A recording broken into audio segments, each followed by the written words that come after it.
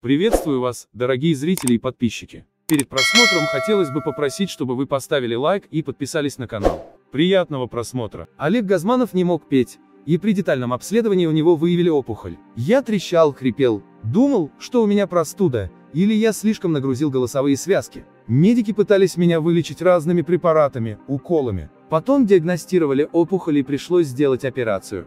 Врач предупреждал меня о возможных осложнениях, из-за которых я не смогу петь. Я тогда подумал, что моя жизнь закончилась. На этом все, занавес, признался 68-летний артист на передаче «Судьба человека» канала «Россия-1». Благо, опасения хирургов не подтвердились, Газманов возобновил творческую деятельность. «Если бы я даже не смог петь, то придумал бы что-нибудь другое», продолжил он. Но на тот период это, конечно, было страшно. А после операции мне пришлось какое-то время вообще молчать. Меня очень поддержала моя семья, друзья. Была в жизни Олега Михайловича и клиническая смерть. Случилось это в знаменитом школьном лагере Артек. Как-то я, уже будучи известным человеком, давал там интервью, держась за микрофон, провод которого шел в аппаратуру. Она не была заземлена, в это время подъехал автобус с телевидением. Меня попросили взять другой микрофон, чтобы был слышен звук в другую аппаратуру. Я взял его, а что было после, ничего не помню. Оказывается, меня хорошенько ударило током, который прошел по всему телу.